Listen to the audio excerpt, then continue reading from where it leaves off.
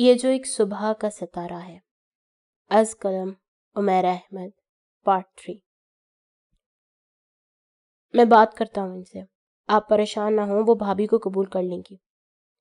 इसने ने तसली देने की कोशिश की थी, मगर सिकंदर अली फाखरा को इससे ज़्यादा जानते थे। वो कितनी ज़िद्दी और मुंतक मिजाज औरत थी, ये इनसे बेहतर कौन जान सकता? मगर फिर भी उन्होंने सर हिला दिया था। जीशान इनके साथ ही अपने बेडरूम में चला गया था और वहाँ फाखरा ने इन दोनों को देखते ही चिल्लाना शुरू कर दिया था। सिकंदर अली बिल्कुल चुप रहे थे और जीशान ने माँ का गुस्सा ठंडा करने की कोशिश करती थी। मगर फाखरा पर तो जैसे जनून सवार था। उन्होंने जीशान को भी बेभाव की सुनाई थी। उन्हें इसके बाप के साथ जाने पर एतराज़ था। इन्हें मनाने और समझाने की इसकी सारी कोशिश पूरी तरह नाकाम जा रही थी। वो कुछ सुनने पर तैयार ही नहीं थी। इसे मम्मी की कोई खास परवाह नहीं थी। बिल्कुल वैसे ही जैसे जेशान को बाप की ज़्यादा परवाह नहीं थी। नबील को बहस की भी आदत नहीं थी। वो हमेशा अपनी बात मनवाया करता था, लेकिन बहस में इन्वॉल्व हुए बगैर वो हमेशा करता था। मुझे कोई कायल नहीं कर सकता। फिर मैं अपना और दूसरों का वक्त क्यों ज़ाया करूँ? मैं तो वही करता हूँ जो करने का फैसला करता हूँ।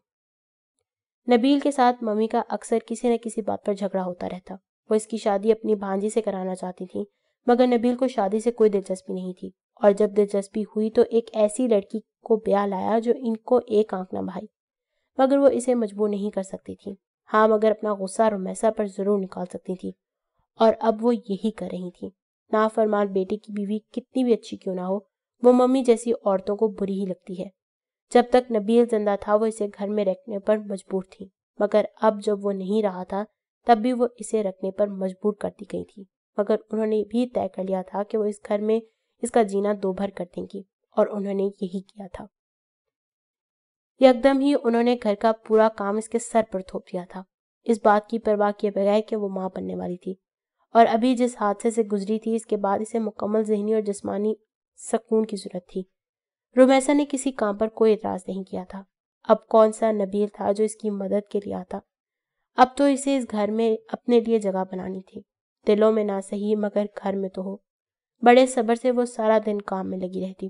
पहले जब मम्मी से काम के लिए कहा करती थी तो तब वो सिर्फ़ काम की निगरानी किया करती, मगर अब वो खुद नौकरों के साथ सारे काम करवाया करती।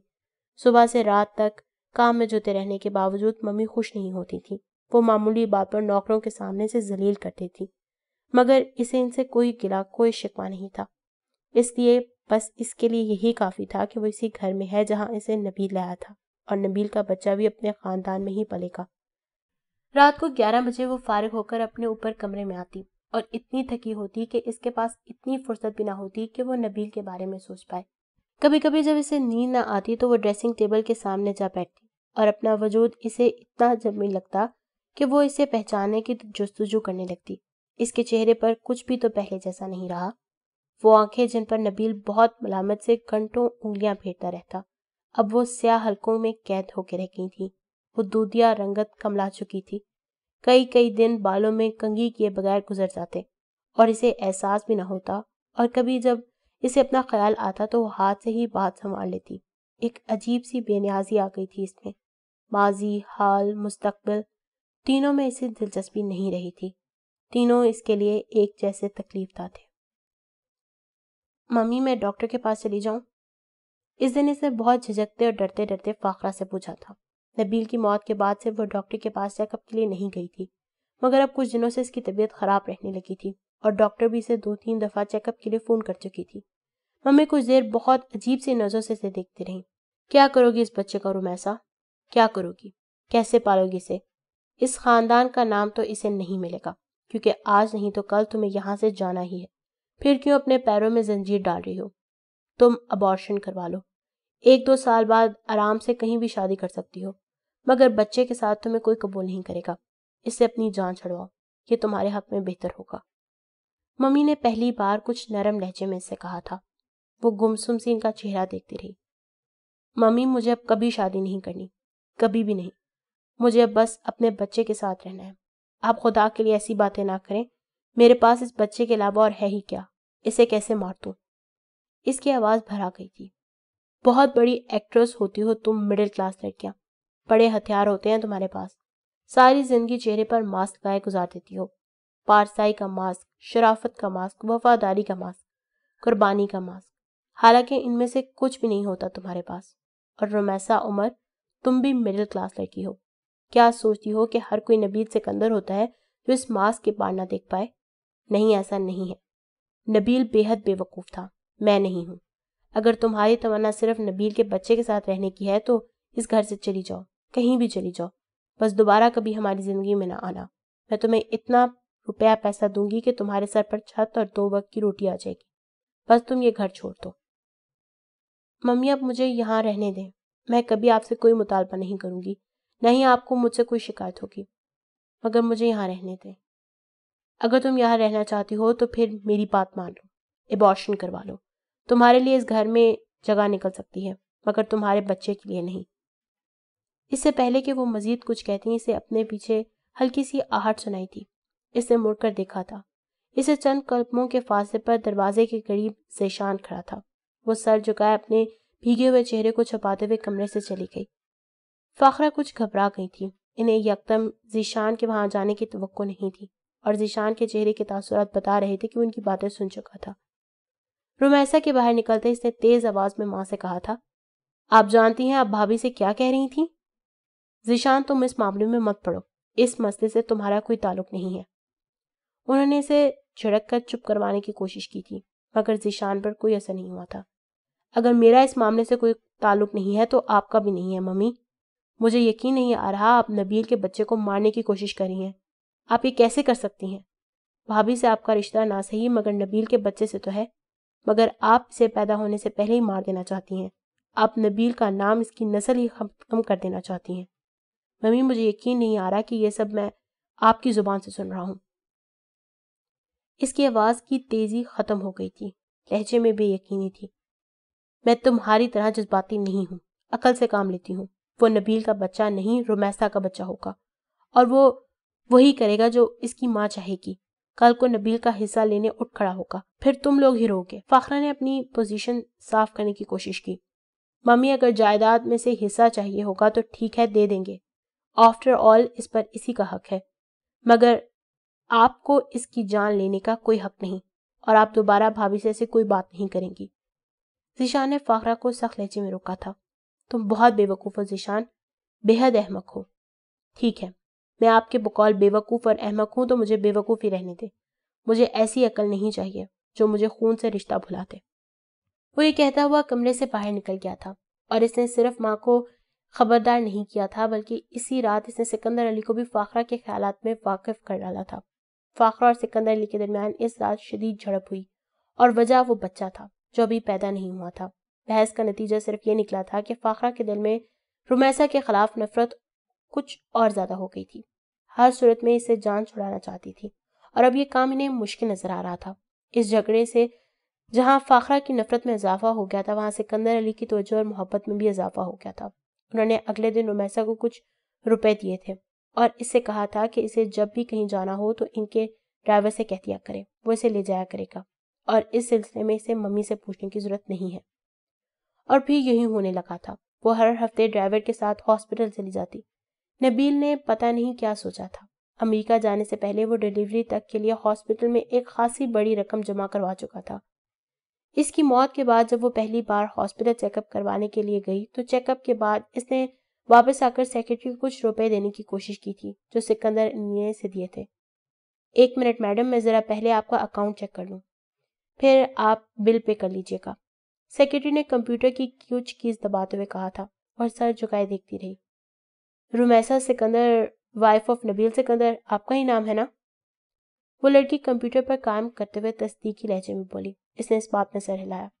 नहीं मैडम, आपको बिल पे करने की ज़रूरत नहीं है। आपके हस्बैंड डिलीवरी तक की सारे ड्यूज पहले ही पे कर चुके हैं। इस लड़की ने मुस्कुराते हुए कहा, रुमैसा की आँखों में आँसू आ गए थे। काउंटर पर रखे हुए रुपए उठाकर वो बाहर आ गई थी। पार्किंग की तरफ़ जाने के बजाय वो लॉन में आकर बैठ गई थी। और पता नहीं कितनी देर वो वहीं बैठी रही। ये एक प्राइवेट हॉस्पिटल था। एक दरख्त के नीचे लकड़ी के बेंच की पुश्ते टेक लगाए वो हॉस्पिटल के अंदर जाते और बाहर आते हुए जोड़ों को दिखती रही। चंद माह पहले वो भी तो नबील के साथ ही आया करती थे, मुस्कुराते, जगमगाते चेहरे, अपने बच्चे के बारे में बातें करते हुए, मुस्तकबिल की प्लानिंग करते हुए। यार, बंदे को हर काम सोच समझ कर करना चाहिए। ज़िंदगी को अच्छे तरीके से गुजारने के लिए बहुत ज़रूरी है। मैं अपने हर आने वाले साल को पहले ही प्लान कर लेता हूँ। बहुत आसानी हो जाती है। इससे और सिर्फ़ खुद को ही नहीं, अपने इर्द गिर्द के लोगों को भी। लेकिन मेरे लिए अब क्या आसानी होगी?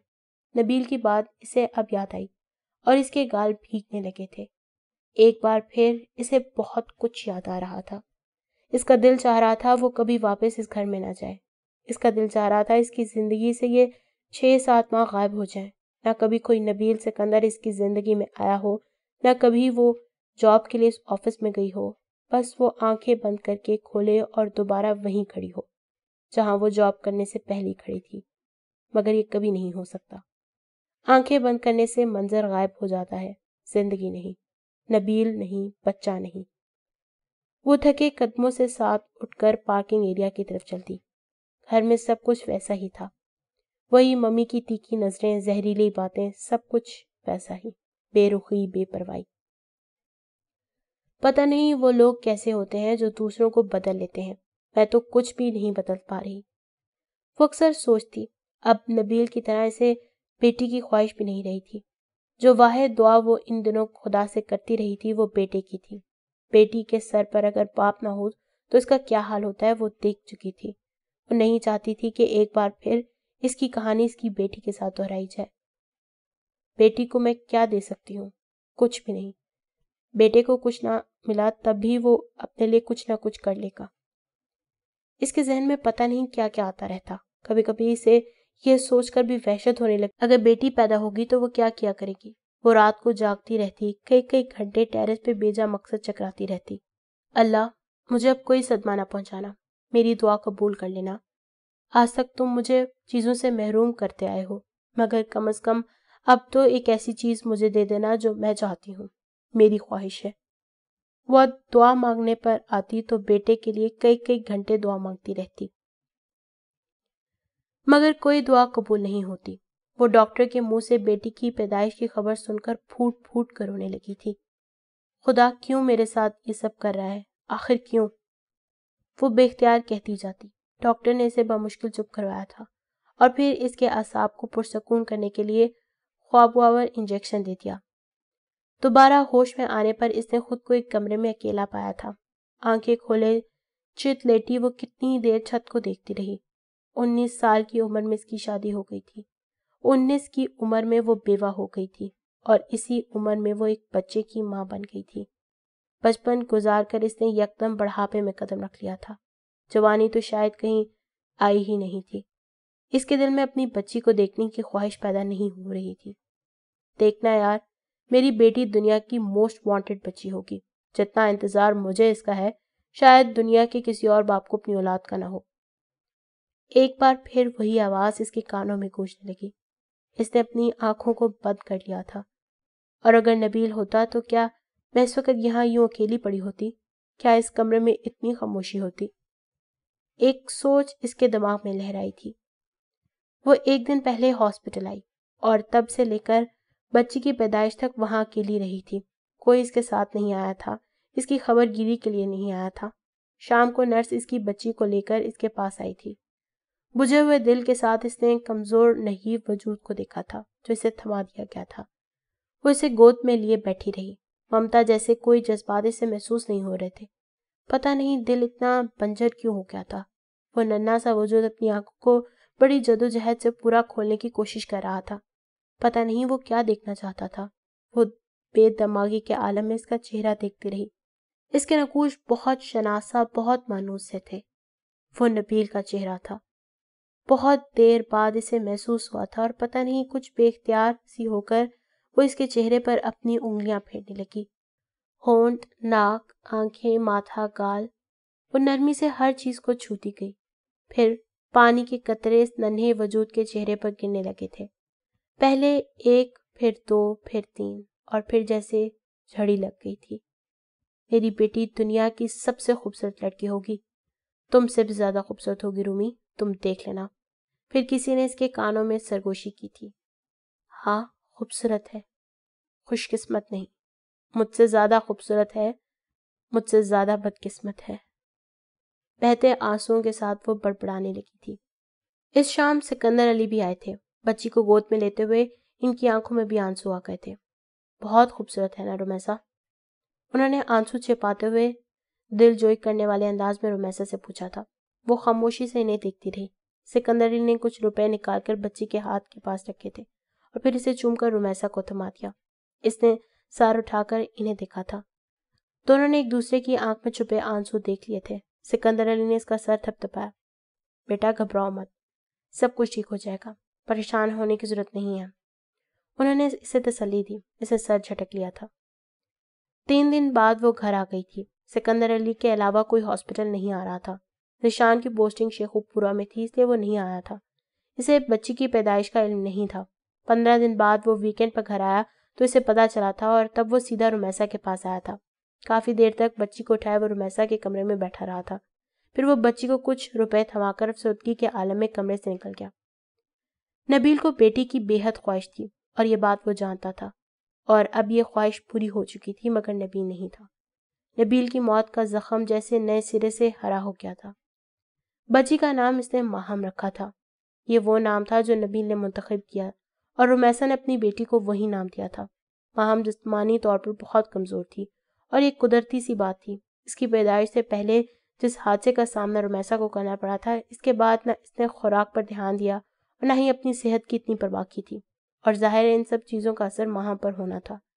माहम की पैदाइश के बाद रफ्ता रफ्ता रोमैसा दोबारा घर के कामों में जुट गई थी। काम के बगैर इस घर से दो वक्त का खाना हासिल करना बहुत मुश्किल हो गया था।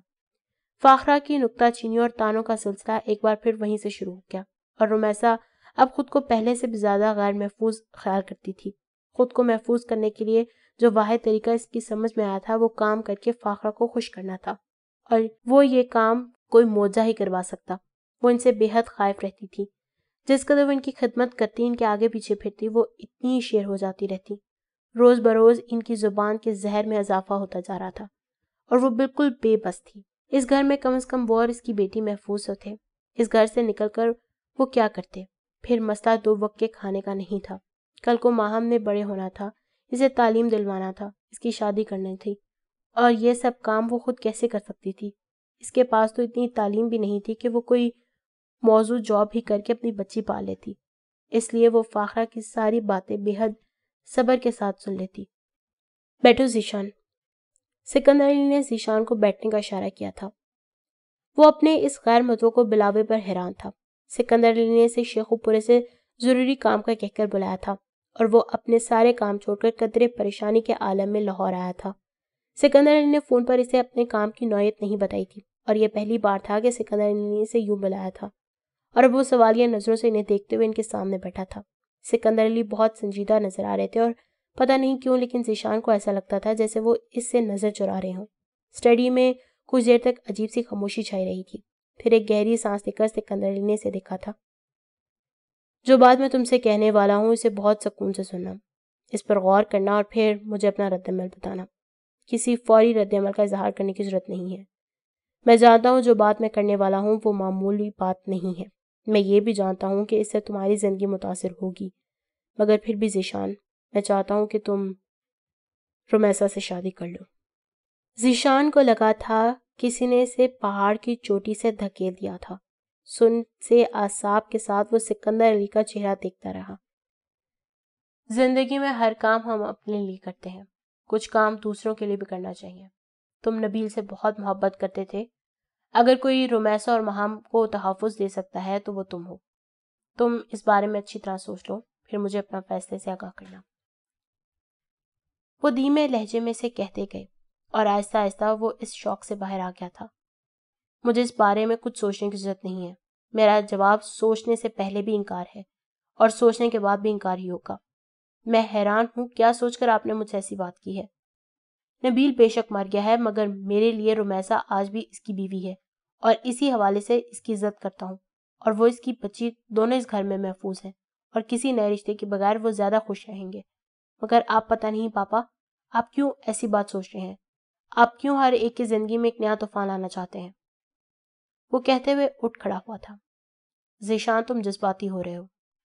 सिकंदर अली ने कुछ कहने की कोशिश की और इसने इनकी बात काट दी। हाँ मैं जज्बाती हो रहा हूँ। और ये मामला है जज्बात का। आपने इस लड़की के बारे में क्या सोचा है जो मेरी मनकुहा है? आपने मेरे बारे में क्या सोचा है जो रबिया से मोहब्बत करता है? आपने रुमैसा के बारे में क्या सोचा है जिसके शौहर को मरे हुए भी एक साल भी नहीं हुआ? अब हर फैसला खुद करते हैं। अब हर फैसला गलत करते हैं। जेशान का चेहरा सुर्ख हो गया था। मैंने तुमसे रबिया को तलाक देने का नहीं कहा। ना मैं चाहता हूँ कि तुम उसे तलाक दो। मैं सिर्फ़ ये चाहता हूँ कि तुम रुमैसा से निकाह कर लो।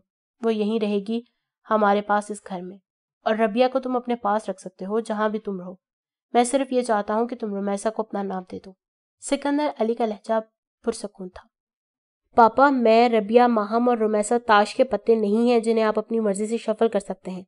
हम इंसान हैं, जीते जागते इंसान, जज्बात और एहसास वाले इंसान। रोमैसा के लिए कैसे मुमकिन है कि वो मुझे नबील की जगह दे दे मेरे लिए कैसे मुमकिन है कि मैं इसे भाभी से बीवी बना लूँ? रबिया अपने शोहर को क्यों किसी दूसरे के साथ शेयर करेगी? शायद आपने ही सोचा ही नहीं कि आप क्या कहना चाहते हैं। नबील के मरने से सिर्फ़ रुमैसा का घर तबाह हुआ था। लेकिन अब आप मेरी और रबिया की ज़िंदगी क्यों बर्बाद करना चाहते हैं? हमने तो अभी अपना घर भी नहीं बनाया। कितने दावे करते थे तुम नबील से मोहब्बत के। अब इसके लिए कुछ करने का वक्त आया तो तुम भी इतनी हिम्मत नहीं कि तुम एक कदम भी आगे बढ़ा सको। दुनिया में तुम वाहिद आदमी नहीं हो, जिससे ये कुर्बानी देने का कहा गया है। तुमसे पहले भी बहुत से आदमी ये कुर्बानी देते रहे हैं। तुम कोई ऐसा काम नहीं करने जा रहे हो जो तुमसे पहले किसी ने ना किया हो। सिकंदर अली का लहजा एकदम सख्त हो गया था। इन लोगों को कुर्बानी का शौक होगा। मुझे नहीं है। मुझे एक ज़िंदगी मिली है, कोई दस बार नहीं मिलेगी। मैं इसे अपने लिए और सिर्फ़ अपने लिए गुजारना चाहता हूँ।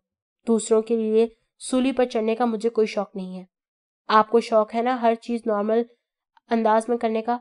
आप दूसरों की जिंदगियों पर मुकम्मल इख्तियार रखना चाहते हैं। तुम बकवास बंद करो अपनी। सिकंदर अली को इसकी बात से ज़्यादा इसके लहजे पर तैश आया था। मैं बकवास नहीं कर रहा, पापा। मेरी खुशियाँ छीनकर आपको खुशी होती है। अशर अहमद फराज, वलीद, इनमें से किसी को भी कहें वो रोमैसा से शादी कर लेगा, लेकिन आखिर मैं ही क्यों करूँ? तुम नबील के लिए जो एहसास रखते थे वो नहीं रखते। तुम रोमैसा और इसकी बच्ची के लिए जितनी हमदर्दी रखते हो, इनमें से कोई नहीं रखता। मैं नहीं जानता कि साथ ये हमदर्दी मेरे गले का फंदा बन जाएँगे। अगर मुझे रोमैसा और महाम से हमदर्दी है तो इस हमदर्दी को बाकी रहने दें। कोई नया रिश्ता बनाकर इसे ख़त्म करने की कोशिश ना करें। मुझे रिश्ते निभाने नहीं आते। फिर आप क्यों ज़बरदस्ती ये तोक मेरे गले में डाल रहे हैं? तुम बहुत खुदगर्ज हो, जीशान। तुम बेहद खुदगर्ज हो। हाँ मैं हूँ। हर एक होता है। क्या आप नहीं है? वो बेहद तलखी से बात कर रहा था। सिकंदर अली सिर्फ़ इसे देख के रह गए। इसका रद्दमल इनकी तो के बिल्कुल बरखलाफ था। हाँ मैं भी हूँ। और इसीलिए मैंने फैसला किया है कि अगर तुमने मेरी बात नहीं मानी तो फिर तुम्हें मेरी जायदाद से कुछ नहीं मिलेगा। इसका लहजा बेहद सर था। जिशान, हक्का बग्गा सा इनका चेहरा देखता रह गया। उन्होंने बात जारी रखी। मैंने तुम्हें बैरून मुल्क बिज़नेस एडमिनिस्ट्रेशन की तालीम दिलवाने पर ढेरों पैसा खर्च किया, मगर तुमने वापस आकर कारोबार में मेरा हाथ बटाने के बजाय सिविल सर्विस ज्वाइन कर ली। मैं खून के घूंट पी के रह गया। लेकिन अब मेरा ख्याल है कि तुम्हें अपने पैरों पर भी खड़े हो जाना चाहिए। तुम्हें अपने अखराज अपनी तनख्वाह में पूरे करने चाहिए। जैसे सब मुलाजमत पेशावर लोग करते हैं, जिसका कारोबार चलाने में तुम्हारा कोई हिस्सा नहीं। इसके मुनाफे में भी तुम्हारा कोई हिस्सा नहीं होना चाहिए। आइंदा मैं तुम्हारे अकाउंट में कोई रकम जमा नहीं करवाऊँगा, और ना ही मेरी वसीयत में तुम्हारे लिए कुछ होगा। आप मुझे ब्लैकमेल कर रहे हैं? वो बोला था। हाँ मैं ब्लैकमेल कर रहा हूँ। कितनी देर तुम्हें पालूँगा? दूसरों की मेहनत कितनी देर तक तुम्हें खिलाता रहूँगा? नहीं, जिशान साहब, अब ये नहीं होगा। अगर तुम अपनी ज़िंदगी अपनी मर्ज़ी से गुजारना चाहते हो तो गुजारो इसे। और अपने लिए वसाइल खुद पैदा करो। वो बाप के बदले हुए तेवर देखकर हैरान रह गया। पापा आप मेरे साथ ये नहीं कर सकते। मैं अपने हक के लिए कोर्ट में जाऊँगा। जो हिस्सा जायदाद मेरा है, वो तो रहेगा। चाहे मैं कारोबार में हिस्सा लूँ या ना लूँ, आप मुझे इसे महरूम नहीं कर सकते। मैं अपने हकूक से अच्छी तरह वाकिफ हूँ। और इन्हें डिफेंड करना भी जानता हूँ। बहुत अच्छी बात है। अब तुम कोर्ट के ज़रिए मुझसे अपना हिस्सा लेना, मैं वैसे तो तुम्हें कुछ नहीं दूँगा। सिकंदर अली ने हतमी लहजे में कहा था और वो कुछ नहीं बोला था। कुछ देर तक इन्हें देखते रहने के बाद वो ज़ोर से दरवाज़ा पटकते हुए बाहर निकल गया। इस रात घर में एक हंगामा बर्पा हो गया था। फाखरा जहाँ हैरान थी, वहाँ बेहद मुश्तिल भी थी। इन्हें लगा जैसे सिकंदर अली का दिमाग खराब हो गया है। और उन्होंने बर्मला इसका इजहार किया था। मगर सिकंदर अली पर किसी बात का कोई असर नहीं हुआ था। उन्होंने बहुत सोच समझ के फैसला किया था और कोई भी इन्हें अपने फैसले से हटा नहीं सकता था। वो जानते थे हर एक इस फैसले की शदीद मुखालफत करेगा। इसलिए वो इस हंगामे से ज़्यादा मुतासर नहीं हुए थे। उन्होंने फाखरा को भी इस बात से आगाह कर दिया था कि वो जीशान को अपनी जायदाद से कुछ नहीं देंगे और फाखरा का खून खोल के रह गया था। रबिया इनकी भांजी थी और इन्हीं की ख्वाहिश पर जीशान ने एक साल पहले से निकाह किया था। और अगर नबील की मौत ना होती तो अब तक रबिया की रुखती हो चुकी होती। फाखरा जानती थी कि सिर्फ़ तनख्वाह पर जीशान का शादी से पहले गुजारा नहीं होता तो शादी के बाद कैसे होगा? अगर इसे जायदाद लेनी थी तो रोमैसा से शादी करनी थी। और ये बात इनके लिए नाकाबले बर्दाश्त थी। जो लड़की नबील की जिद पर इनके घर में आई थी और जिसे वहाँ से निकालने के लिए वो हर मुमकिन कोशिश कर रही थी, वो एक बार फिर से इनके घर से जुड़ जाए, वो ये कैसे बर्दाश्त कर सकती थी? और मुखालफत करने वाली सिर्फ़ वो नहीं इस घर में कोई ऐसा फर्द नहीं था जो सिकंदर अली की हिमायत कराओ, और ये मुखालफत खुलेआम हो रही थी। हती के सितारा आलिया भी खामोश नहीं रही थी अगर वो अपनी बात पर कायम रहे थे। बल्कि अगली सुबह उन्होंने वकील को भी घर बुलवा लिया था, और वकील ने इनके पहले से तैयारशुदा वसीयत पढ़कर इन्हें सुना दी। बाकी सबको इनका हिस्सा दे दिया गया था माँ सवाए जीशान के। और इसी वजह से जीशान के बड़े और छोटे भाइयों ने इतमान का सांस दिया था। कम से कम इनसे किसी किस्म की हक तलफी नहीं की गई थी, मगर वसीयत में जीशान के बारे में सिरे से कोई ज़िक्र ही नहीं था। वो वसीयत खत्म होने पर सुर्ख चेहरे के साथ एक लफ्ज कह बगैर वहाँ से चला गया था, मगर कबूतर की तरह आँखें बंद कर लेने से हकीकत नहीं बदलती। इसे भी हकीकत का सामना करना पड़ा। रबिया को इसने सारे मसले से आगाह कर दिया था, और इसके घर वाले इतने मुश्तकिल हो गए थे कि उन्होंने जीशान से खुला का मुतालबा कर दिया। इसने रबिया से कहा था कि वो अपनी जायदाद से दस्तबरदार होने को तैयार है। लेकिन वो रोमैसा से शादी नहीं करेगा। मगर ये बात रबिया को काबिल कबूल नहीं थी। आखिर तुम किस जुर्म की सजा भुगतोगे? आखिर क्यों अपना हिस्सा छोड़ो? नहीं जीशान कतन नहीं। तुम्हें अपने फादर से इस मामले में झगड़ना होगा। इनसे कहना होगा कि वो तुम्हारी हक तलफी ना करे। वो क्यों ये सब कर रहे हैं? क्या हो गया है इन्हें? रबिया के पास इन बातों के अलावा कुछ नहीं था और ये बयान, तकरीर और मुतालबे जीशान का मसला हल नहीं कर सकते थे। वो रबिया के रवैये से कुछ मायूस हो गया था। को दोनों के दरमियान रवायती किस्म के अहदो पेमा तो नहीं हुए थे, क्योंकि ये रिश्ता फाखरा की मर्ज़ी से तय पाया था, मगर फिर भी कुदरती तौर पर जीशान ने इसे कुछ तो वाबस्ता कर ली थी, जिन्हें बुरी तरह ठेस लगी थी। अगर मैं सिर्फ़ इसे शादी करने के लिए अपना हिस्सा छोड़ने पर तैयार हूँ तो ये क्यों थोड़ी कुर्बानी नहीं दे सकती? इसे अपनी ख्वाहिशात को ही किसी हद तक कंट्रोल करना होगा। क्या ये मेरे लिए ये भी नहीं कर सकती? आखिर इसके नज़दीक आसाइशात मुझसे ज़्यादा अहम क्यों है? इसे मेरी ज़रूरत है, मगर बाकी सब कुछ भी चाहिए, और इस बाकी सब कुछ के बगैर इसके नज़दीक मेरी क्या अहमियत है? इसे हर मुलाकात या फ़ोन पर होने वाली गुफ्तगु के बाद जीशान का जहन सवालों में उलझता रहता। वो रबिया पर दिलो जान से फिदा नहीं था। लड़कियों में इसकी दिलचस्पी शुरू से नहीं थी। इसके और मशागल थे, और इस मामले में वो और नबील एक दूसरे के बिल्कुल बरक्स थे। नबील को लड़कियों में जितनी दिलचस्पी थी वो लड़कियों से इतना ही दूर भागता। शादी के मामले में शुरू से इसकी राय ये थी कि वो अरेंज मैरिज करेगा, क्योंकि वही सबसे बेहतर होती है। नबील अक्सर इसकी बात का मज़ाक उड़ाया करता था। अगर तुम्हारी अरेंज मैरिज ना हुई तो कभी शादी होगी ही नहीं, क्योंकि तुम्हें कभी किसी लड़की से इश्क नहीं हो सकता। वो नबील की बात सुनता और बस मुस्कुरा देता। रबिया से निकाह के बाद दोनों अक्सर मिलते रहते और ज़िंदगी में पहली और अपनी तरफ़ से आखिरी बार इसके दिल में किसी लड़की के लिए नरम गोशा पैदा होना शुरू हो गया था। मगर अब वो अजीब सूरत हाल में गिरफ़्तार हो गया था। वो दूसरी शादी को ही सिरे से मुनासिब नहीं समझता था। और कहा यह कि नबील की बीवी से शादी, वो रुमैसा के बारे में नबील के जज्बात और एहसास से बहुत अच्छी तरह का था। और अब इस लड़की से सिकंदर अली इसकी शादी करवाना चाहते थे। सिकंदर अली से इसके ताल्लुकात पहले भी कुछ ज़्यादा खुशगवार नहीं थे।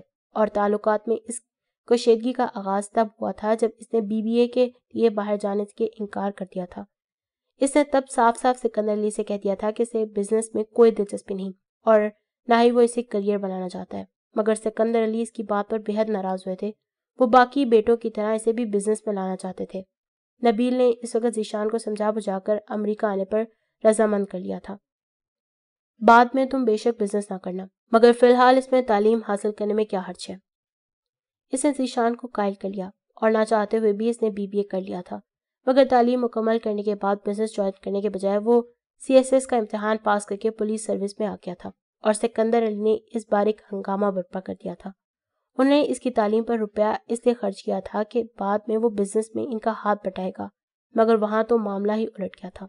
वो ना सिर्फ़ इनके बिज़नेस में नहीं आना चाहता था, बल्कि इसे इनकी खुल्लम खुल्ला हुक्म अदूली करते हुए जॉब कर ली थी और ये बात इन्हें हजम नहीं हुई थी। एक बार फिर नबील इसकी मदद को आया था। और इसने बाप और जीशान के दरमियान न सिर्फ़ इनकी सुलह कराई, बल्कि सिकंदर अली को इस बात पर मनाया था कि वो जीशान को जॉब करने देंगे। बज़ाहिर दोनों के दरमियान ताल्लुकात नॉर्मल हो गए थे, मगर सिकंदर अली अब भी इसकी जॉब को पसंद नहीं करते थे और इनकी नापसंदीदगी इसे नापसंद थी। नबील की मौत ने और रुमैसा के लिए हमदर्दी ने वक्ती तौर पर दोनों के पुराने अखलाफात न सिर्फ़ ख़त्म कर दिए थे, बल्कि दोनों को एक दूसरे के काफ़ी करीब कर दिया। मगर अब सिकंदर अली के इस मुतालबे ने एक बार फिर दोनों को एक दूसरे से दूर कर दिया था। रोमैसा को इस सारे मामले के बारे में बिल्कुल इल्म नहीं था। सिकंदर अली ने इससे कोई बात नहीं की थी। लेकिन फाखरा और घर के दूसरे अफराद के रवैये की बढ़ती हुई तलखी ने इसे परेशान कर दिया था। फाखरा जिस तरह अपने अब दाने देने लगी थी, पहले नहीं देती थी। आलिया और सितारा भी अब इसे झड़कना शुरू कर दिया था। जबकि इससे पहले अगर वो इससे बात नहीं करती थी तो इसे झड़कती भी नहीं थी। इस तलखी की वजह ज़्यादा देर तक इसे पोशीदा न रह सकी। घर की एक मुलाजमा ने जब सिकंदर अली और घर के दूसरे अफराद के दरमियान होने वाले झगड़े की वजह इसे बताई तो वो हक्का बक्का रह गई। क्या मुझ पर आने वाले अजाब कभी खत्म नहीं होंगे? इसने बेबसी से सोचा था। इस रात वो माहम को गोद में लेती, बेतहाशा रोई थी। पापा, मुझे आपसे बात करनी है। वो पहली बार बड़े हौसले और हिम्मत का मुजाहरा करते हुए अगली शाम सिकंदर अली के सामने जा खड़ी हुई थी। चंद लम्हों तक इसका चेहरा देखते रहने के बाद उन्होंने इसे बैठने के लिए कहा था। शायद वो जानना चाहते थे कि वो क्या बात करना चाहती है। पापा मुझे जीशान से शादी नहीं करनी। इसने बैठते ही कह दिया। वो इसकी बात पर कुछ देर खामोश रहने के बाद बड़े पुरसकून अंदाज में बोले, क्यों? मुझे अब किसी से शादी नहीं करनी। और जीशान तो मेरे लिए भाइयों की तरह है। लेकिन वो तुम्हारा भाई नहीं है। वो अब भी बेहद पुरसकून थे। पापा वो नबील का भाई है। और मैंने भी इसे भाई ही समझा है। रोमैसा तुम्हारे समझने से रिश्ता नहीं बनता। रिश्ता वही होता है जो असल में है। तुम्हारा भाई ना वो पहले था और वो ना अब है। पापा, मुझे शादी करनी ही नहीं है। शादी एक दफ़ा ही होती है और मेरी शादी हो चुकी है। अब अगर नबील नहीं रहा तो क्या इसका मतलब यह है कि मैं दूसरी शादी कर लूँ? नबील क्या सोचेगा मेरे बारे में? वो बात मुकम्मल नहीं कर सकी और रोने लगी।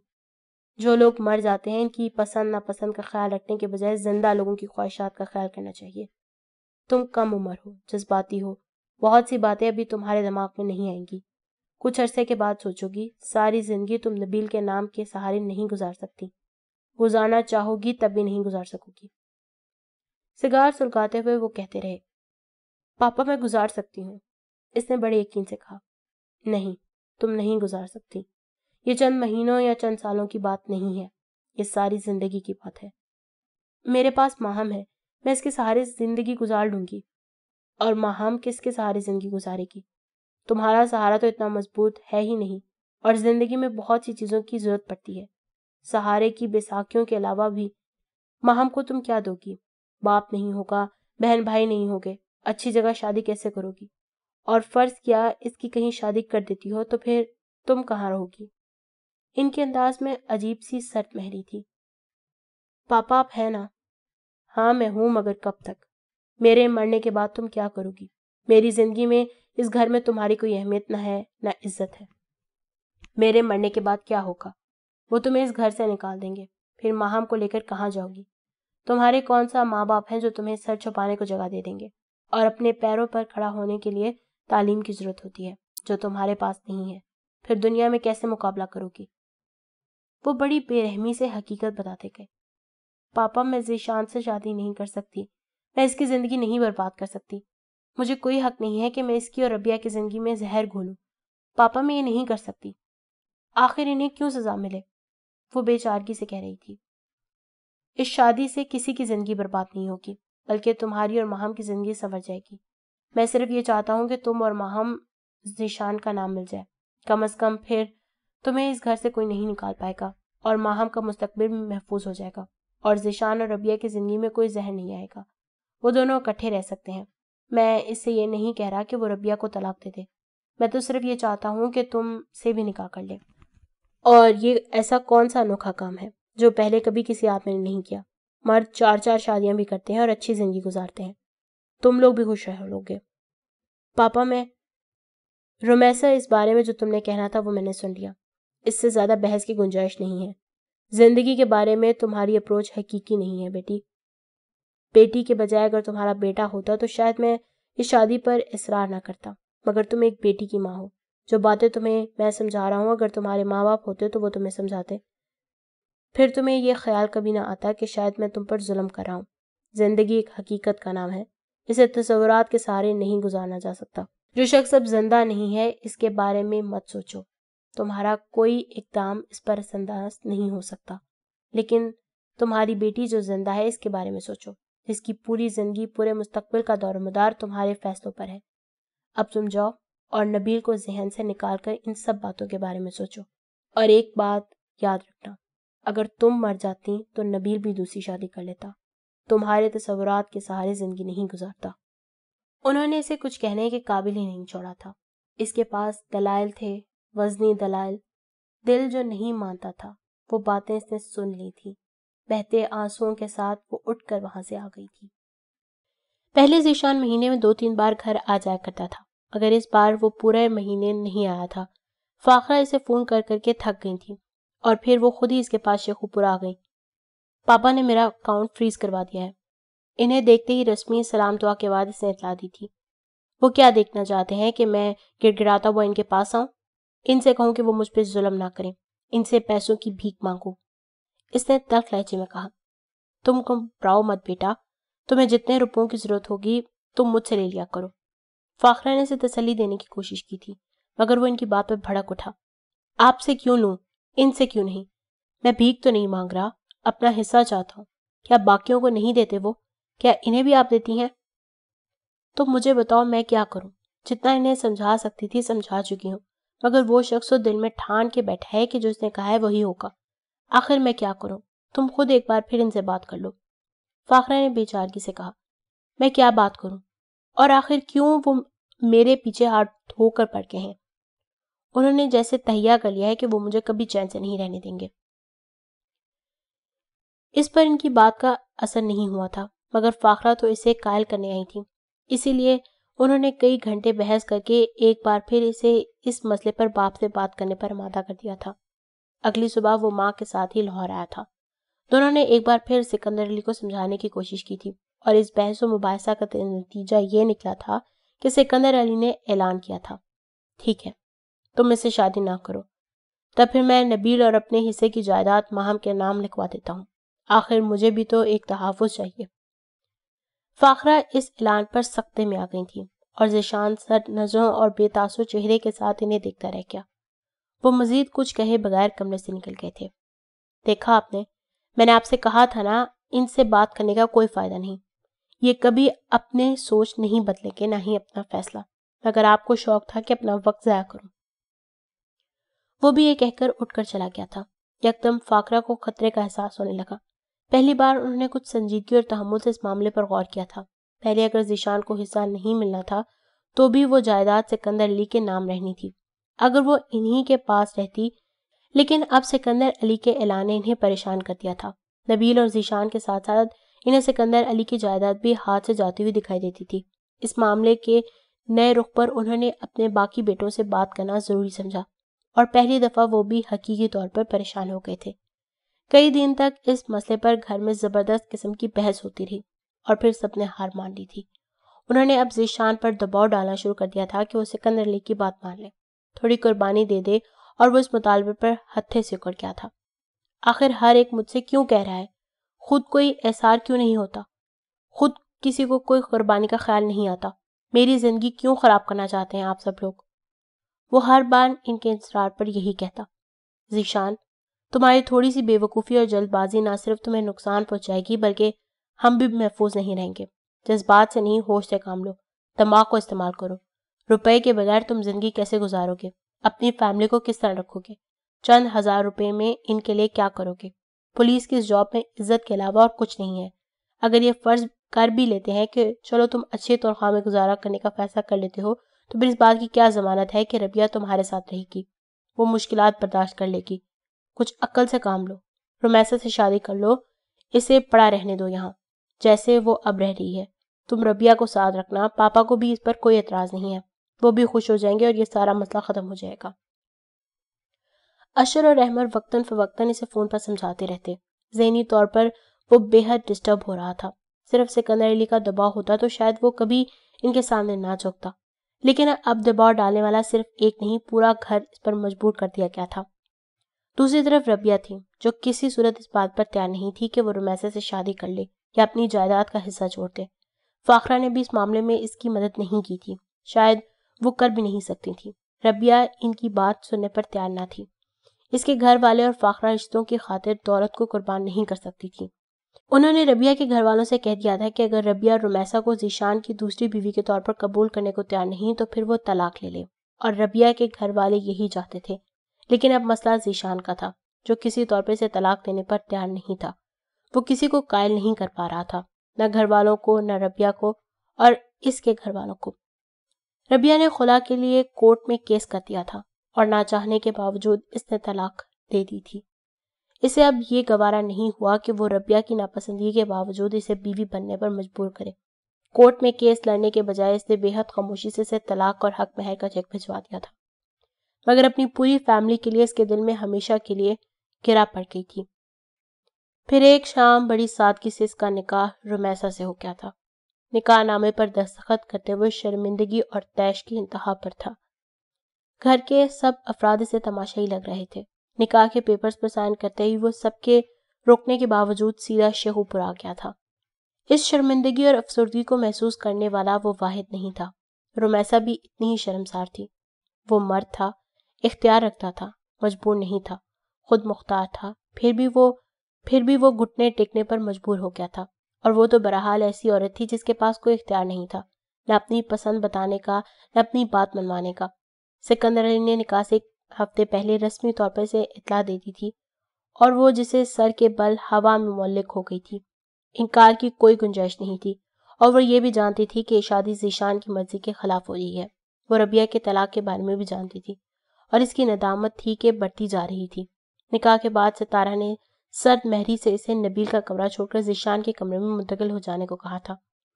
कमरे को छोड़ने से पहले वो बड़ी देर तक एक एक चीज़ को देखती रही। ये वो कमरा था जहाँ एक साल पहले कोई इसे बड़ी चाह से लाया था, जहाँ उन्होंने एक दूसरे से बेपनाह वादे किए थे, लातादाद ख्वाब देखे थे, बेशुमार मंसूबे बनाए थे। अभी भी जैसे फिजा में नबील की बातें और इसकी आवाज़ बासगश करती। नबील के कमरे से जीशान के कमरे तक आते आते इसे जैसे सदियाँ लग गई थीं। हर कदम जैसे पुल सरात पर पड़ रहा था। नबील और जीशान के कमरे में इतना ही फ़र्क था जितना इनकी फितरत में। नबील के कमरे के कारपेट से लेकर लहराते हुए पर्दों तक इसके अच्छे जौक का इजहार होता। हर चीज़ में एक नफासत, नजाकत, एक दिलकशी थी। जीशान का कमरा आसाइशात के एतबार से तो नबील के कमरे ही जैसा था, मगर वहाँ पर पड़ी हुई किसी चीज़ से यह भी अंदाज़ा नहीं होता था कि इस चीज़ के इंतखाब में ज़्यादा दिलचस्पी ली गई थी, और शायद दिलचस्पी भी नहीं ली गई थी। हो सकता है इसकी वजह यह हो कि वो बहुत कम वहाँ आया करता रहता था। इसे लगा था जैसे इसे जन्नत से ज़मीन पर फेंक दिया गया था, और दुनिया में भी अब कोई नहीं था। शेखुपुरा जाकर भी जीशान की बेचैनी कम नहीं हुई थी। वो एक हफ़्ते की छुट्टी लेकर मरी चला गया था। सुकून यहाँ भी नहीं था, मगर कम से कम यहाँ इस तक कोई नहीं आ सकता था। वो शुरू से ही बहुत कम को था। नबील के बरक्स वो बहुत कम बातें करता था और जब करता था तो दलाइल के साथ, संजीदगी के साथ। इसके मिजाज की एक और खसूसियत थी ये। हर बात के बारे में इसका अपना अंदाज फ़िक्र था। बाप से इसे हमेशा बेतोजीही की शिकायत रही और शायद यही वजह थी कि इसने लाशौरी तौर पर बिज़नेस के बजाय जॉब करने का फैसला किया था। वो अपनी जात को नोट कमाने वाली मशीन नहीं बनाना चाहता था। ये और बात थी कि जॉब का इंतखब करते हुए वो इस जॉब का इंतखब कर बैठा जिसमें नौ से पाँच वाली कोई रूटीन नहीं थी, मगर फिर भी वो नाखुश नहीं था। वो पुलिस की जॉब को एंजॉय कर रहा था। जॉब अगरचे इसकी माली ज़रूरत पूरी करने के लिए नाकाफी थी, मगर इसे इसकी ज़्यादा परवाह नहीं थी। सिकंदर अली इसके अकाउंट में अच्छी खासी रकम जमा करवाते रहते और बाप ने छोटे मोटे इखलाफात के बावजूद इसकी ज़िंदगी बहुत पुरसकून गुजर रही थी। और अब सकून नाम की कोई चीज़ इसके पास नहीं रही थी। मसला सिर्फ़ ये नहीं था कि रोमैसा की वजह से इसे रबिया को तलाक देनी पड़ी थी। नाम मसला ये था कि वो नबील की बीवी थी। प्रॉब्लम यह था कि वो इसके बारे में नबील के सारे एहसास और जज्बात से वाकिफ था। इसे पहली बार देखने से लेकर शादी के बाद तक नबील इसके बारे में अपने हर एहसास को इससे शेयर करता रहा था। और अब अब वो इसकी बीवी थी। और इसके बारे में नबील की कही गई हर बात इसे याद आने लगी थी। और इसका बस नहीं चल रहा था कि वो खुदकुशी कर ले। वो इसके लिए अब भी नबील की बीवी थी, जिसे वो चंद माह पहले तक भाभी कहता रहा था। मरी में एक हफ़्ते रहने के दौरान वो सारा दिन आवारा फिरता रहा था। और जहन में आने वाली सोचें भी इतनी आवारा थीं। जिस चीज़ के बारे में वो ना सोचना चाहता, वो इसके दिमाग से चिपक कर रह जाती। और जिस चीज़ के बारे में वो सोचना चाहता, इसे दिमाग में लाने में कितने घंटे लग जाते।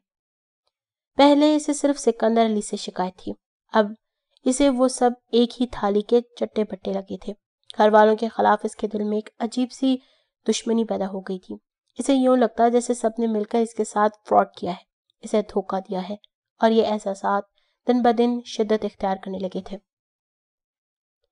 एक हफ़्ते मरी में रहने के बाद वो वहाँ से सीधा लाहौर आया था। और आते ही इसने सिकंदर अली से अपने हिस्से की जायदाद का मुतालबा कर दिया था। सिकंदर अली को शायद इसका अंदाज़ा था, इसलिए उन्होंने पहले ही कागजात तैयार करवा दिए थे। वो बड़ी सतमहरी से कागजात इनसे ले लिया था। वापस शेखुपुरा जाने से पहले वो अपने बेडरूम में आया था। कमरे में दाखिल होते ही एक कोने में पड़े हुए बेबी कॉट ने कमरे में होने वाली तब्दीली के बारे में से बता दिया था। इसका दिल चाहा था वो माहम को उठाकर खिड़की से बाहर फेंक दे। वो ना होती तो शायद ये सब कुछ ना होता। इसे यूँ कुर्बानी का बकरा ना बनाया जाता। जल्दी आँखों के साथ वो होंठ भेजे हुए ड्रेसिंग रूम में आया था।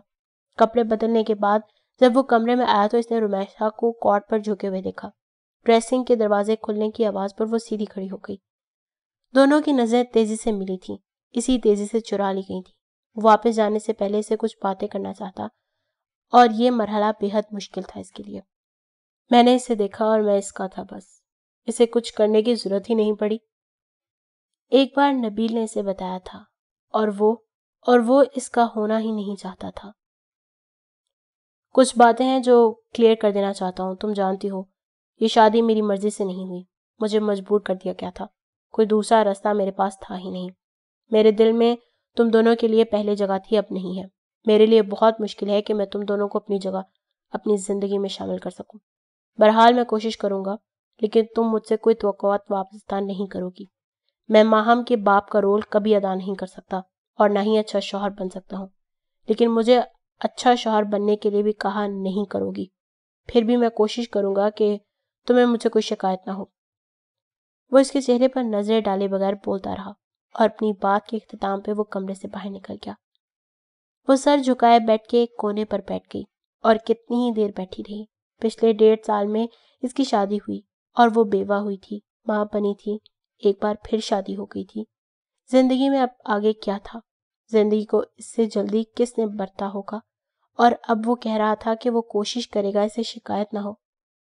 रोमैसा उम्र की शिकायत कहाँ होती है? इसे तो बस समझौता करना होता है। कल, आज और कल। बस इसे समझौते ही तो करने हैं। इसे आँसू पूछते हुए सोचा। तुम्हें क्या ज़रूरत थी आने की दुनिया में? तुम्हारे लिए क्या रखा था? जिस तरह मैं ज़िंदगी गुजारी हूँ, तुम्हें भी वैसी ही गुजारनी पड़ेगी। फिर क्यों? अल्लाह, मैं क्या करूँ जो मेरी राह के कांटे इसके रास्ते में ना आए? क्यों पैदा किया इसे तुमने? क्यों पैदा किया? इसकी क्या ज़रूरत थी? मैं काफ़ी थी ना आजमाइशों के लिए। फिर ये क्यों? मेरी बेटी क्यों? वो माहम के पास आकर इसे देखते हुए आंसुओं के साथ सोच रही थी। वक्त आहिस्ता आहिस्ता गुजर रहा था। ज़िंदगी अपनी डगर पर आती जा रही थी। आजमाइशों में अजाफा हुआ था, ना कमी, बस इनकी आदत ज़रूर पड़ गई थी। इसे किसी बात पर एतराज़ होता ना था, न शिकवा, जब तक इसके सर पर छत थी, जिसम पर लिबास और खाने के लिए वक्त की रोटी मिलती, इसे इस बात से कतई कोई गर्ज नहीं थी कि कौन इसे क्या कहता और क्या नहीं। वो सुबह से शाम तक मशीन की तरह घर वालों की खिदमत में लगी रहती। अक्सर इसे ये भी न परवाह होती कि माहम किस हाल में है, इसे दूध मिला है या नहीं। वो सो रही है या जाग रही है। वो सिर्फ़ ये चाहती थी कि घर वाले खुश रहें। इनका कोई काम खराब ना हो। इन्हें हर चीज़ वक्त पर मिल जाए। माहम का क्या था? वो तो पल ही रही थी। जीशान महीने में एक दो बार आ जाया करता। कभी सिर्फ़ चंद घंटे गुजार कर चला जाता। कभी एक रात के लिए ठहर जाता। इसका इश्तगाल वक्त गुजरने के साथ साथ ख़त्म हो गया था। और इसकी जगह अफसरदगी और पछतावे ने ले ली थी। इसके दिल में रुमैसा के लिए जगह थी या नहीं, मगर इसने इसे बीवी की हैसियत ज़रूर दे दी थी। अगरचे ये सब दोनों के लिए बहुत मुश्किल और तकलीफ़ दे था। नबील ज़िंदा ना होने के बावजूद इन दोनों की तन्हाई में मौजूद रहता। जहाँ रुमैसा को लगता कि वो नबील से बेवफाई करी है, वहाँ जीशान को यूँ लगता जैसे वो अपने भाई को धोखा दे रहा है। शुरू में इस बेडरूम में रात गुजारना इसे क्यामत से कम नहीं लगा था। वो सोते सोते नींद से उठ जाता। इसे यूँ लगता जैसे इसका दम घुट रहा हो, जैसे कोई इसका गला दबा रहा हो। वो कमरे की खिड़कियाँ खोल देता, मगर तब भी इसे सुकून नहीं मिलता। वो टेरेस पर निकल जाता और बाज दफ़ा सुबह तक सिगरेट फूंकता रहता। वो बेखबर नहीं थी, वो सब जानती थी, मगर वो बेबस थी, कुछ नहीं कर सकती थी। इसे अपने वजूद से शदीद नफरत होती, ना मैं होती, ना दूसरों के लिए वो असाब बनती। वो सोचती और सर पकड़ लेती। जो जो वक्त गुजरता गया, जिशान की आमद कम होती गई। अब वो महीने में सिर्फ़ एक बार आता था। एक खामोशी थी जो इस पर तारी रहती। वो संजीदा पहले भी था। मगर इतना चुप कभी नहीं हुआ था। मगर अब तो घर आकर जैसे वो बात करना ही भूल जाता। रुमैसा के साथ तो वो ज़रूरत से ज़्यादा कभी बात नहीं करता। मगर अब बाकी लोगों के साथ भी इसकी गुफ्तगु बहुत कम हो गई थी। इसे माहम से कोई दिलचस्पी नहीं थी। जब से कंदर अली ने इसे रुमैसा से शादी करने के लिए नहीं कहा था, तब तक वो माहम को हर दफ़ा घर आने पर ज़रूर देखने आया करता था और कुछ देर के लिए उठा भी लेता था। मगर शादी के बाद इसने माहम को उठाना तो दरकनार कभी इस पर नज़र भी नहीं दौड़ाई थी। बल्कि बाज दफ़ा जब वो रोने लगती तो इसे बेतहाशा गुस्सा आता और वो रुमैसा से कहता कि वो इसे कमरे से बाहर ले जाए। माहम जब रोने पर आती तो रोती ही जाती, फिर इसे चुप करवाना बेहद मुश्किल हो जाता और जीशान का पारा आसमान से बातें करने लगता। इस दिन भी यही हुआ था। माहम नींद से उठकर यकदम रोने लगी थी। वो इस वक्त खुद सोने के लिए बेड पर लेटने को थी। जीशान कुछ कागजात देख रहा था। इसने माहम को चुप करवाने की कोशिश की मगर वो चुप होने के बजाय और ज़ोर से रोने लगी। कुछ देर तक वो ये शोर शराबा बर्दाश्त करता रहा, मगर फिर इसकी सब्र का पैमाना लबरेज हो गया। इसे चुप कराओ, वरना मैं इसे उठाकर खिड़की से बाहर फेंक दूँगा। इसने बड़े दुरुस्त लहजे में कहा था, और वो इसकी बात पर खौफजदा हो गई थी। माहम को उठाकर वो कमरे से बाहर निकल आई, और बाहर निकलकर इसे चुप करवाने के बजाय वो खुद रोने लगी थी। माहम कुछ देर तक रोते रहने के बाद खामोश हो गई थी। वो कितनी देर इसे लिए सीढ़ियों पर बैठी रही। इस वाक्य के बाद ये होता था कि जब जीशान कमरे में होता तो वो माहम को वहाँ ना छोड़ती। अगर इसे काम करना होता तो वो माहम को अपने पास ही लिटा लेती और खुद काम में मशरूफ हो जाती। कभी माहम सो जाती, कभी वो उठकर खुद ही खेलती रहती और अगर जीशान की मौजूदगी में वो कभी रात को रोने लगती तो वो फ़ौरन इसको लेकर कमरे से बाहर टेरिस पर निकल जाती। इसके मूड को बिगड़ने से बचाने का वाहिद हाल इसे यही नज़र आता और वो यही था। जब जीशान ना होता तो वो इसे सारा दिन कमरे में ही रखती। पाँच दफ़ा ऐसा होता कि महाम कमरे में रो रो कर हलकान हो जाती और इसे पता भी ना चलता। और फिर जब ख्याल आने पर वो ऊपर जाती तो वो जोरों शोर से रो रही होती। पता नहीं क्यों, लेकिन वो फिर भी इसे नीचे ना लेकर आती। शायद वो खौफजदा थी कि कहीं घर वालों को ये बात भी नागवार ना लगे। शुरू में महाम इसे कुछ तंग किया करती, मगर आहिस्ता आहिस्ता वो भी जैसे हालात से समझौता कर गई थी। जहाँ रुमैसा इसे डालती, वो वहीं पड़ी रहती। जो वो इसे खाने को देती, वो खामोशी से खा लेती। रुमैसा के पास रुपए नहीं होते थे, जिनसे वो इसके लिए अच्छी खुराक या कपड़े खरीदती। सितारा से अपनी बेटी के इस्तेमाल शुदा कपड़े दे देती और रुमैसा वही कपड़े महाम को पहनाती रहती। खाने के लिए वो इसे दूध देती थी या फिर रोटी का एक टुकड़ा थमा देती और कभी नरम से चावल पकाकर खिला देती। जब सितारा और आलिया अपने बच्चों को तरह तरह के सीरियल्स देती तो पाँच दफ़ा इसका दिल चाहता कि वो भी ऐसी कोई एक चीज़ इसे खिलाते। इसे जूस पिलाए, बिस्किट दे, इसे भी कोई फल खिला सके। मगर हर बार वो दिल महसूस कर रह जाती। वो किचन से इसके लिए कुछ भी चुरा कर नहीं ला जाती थी। और अगर वो मम्मी से किसी चीज़ के लिए इजाज़त मांगती तो वो कभी भी इसे इजाज़त न देती। उन्होंने शुरू से इसे कह दिया था कि वो अपनी बेटी को सादा खुराक खिलाए ताकि इसकी आदतें ना बिगड़े और इसे अपनी औकात याद रहे और वो वही कर रहे थी जो मम्मी से कहती थी। सिकंदर अली ने शादी से पहले दो तीन बार इसे कुछ रुपए दिए थे। मगर फिर उन्होंने भी इसे रुपए नहीं दिए थे, शायद वो सोचते होंगे कि अब जीशान इसे रुपए देता होगा। और जीशान ने यह सोचा होगा कि इसे रुपयों की क्या ज़रूरत होगी। शायद इसे कभी ख्याल ही नहीं आया होगा कि अब माली तौर पर रोमैसा को सपोर्ट करना चाहिए। और रोमैसा में इतनी हिम्मत नहीं थी कि वो उसे रुपए मांगती। इसे लगता था कि इसने शादी करके इस पर बहुत बड़ा एहसान किया है। अब वो और क्या मुतालबा करे। जब तक नबील ज़िंदा था, इसे कभी रुपए मांगने की ज़रूरत नहीं पड़ी थी। ना सिर्फ़ वो इसके अकाउंट में हर माह रुपए जमा करवा दिया करता, बल्कि इसके दराज में भी वक्तन फवक्तन रुपए रखता रहता। और अब इसके पास इतने पैसे भी नहीं होते कि वो माहम के लिए दूध का एक डब्बा खरीद सके। फिर भी इसे किसी से कोई शिकायत नहीं थी। अब इसे इतनी फुर्सत भी नहीं मिलती थी कि वो नबील को याद करती फिरे। सुबह से लेकर रात गए तक वो इतनी मसरूफ रहती कि जब रात को सोने के लिए लेटती तो चंद मिनटों में सो जाती। कई कई दिन इसे नबील का ख्याल ही ना आता। और अगर कभी आता तो फिर सब कुछ याद आता। इसकी हँसी, इसकी बातें, इसकी आँखें, इसकी ख्वाहिशात, इसके ख्वाब, हर चीज़। और फिर जैसे एक धुआँ सा इसके वजूद को अपने हिसार में ले लेता। अगर वो ना मरता तो आज मैं और माहम कहाँ होते? अगर वो होता तो ज़िंदगी कैसी होती? वो सोचती और आँखें फिर से जलने लगती। तुम इस कदर खूबसूरत हो रूमी कि अगर कोई तुम्हें मेरी नज़र से देखे तो शायद कह दे कि अब मैं कुछ और देखना ही नहीं चाहता। बाज दफ़ा वो ड्रेसिंग टेबल के सामने बैठती तो नबील की आवाज़ इसके कानों में गूंजती। और अब, अगर तुम मुझे देखो तो शायद कहो मैं दोबारा तुम्हें कभी देखना नहीं चाहूँगा। वो शीशे में अपने अक्स को देखते हुए सोचती, जब ख्वाब टूटते हैं तो ना चाँद चेहरे चाँद रहते हैं, ना सितारा आँखें सितारा। ज़िंदगी बस एक तारीख आसमान बन के रह जाती है। इसके साथ भी यही हुआ था।